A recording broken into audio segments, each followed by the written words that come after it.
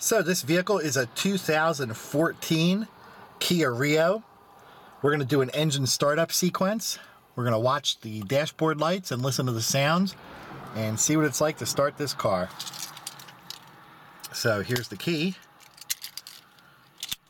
And let's get started.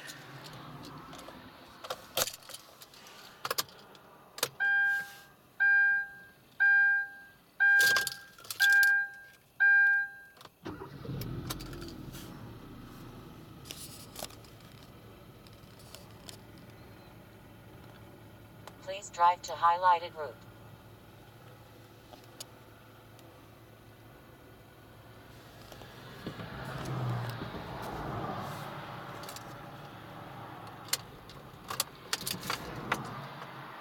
All right, pretty cool.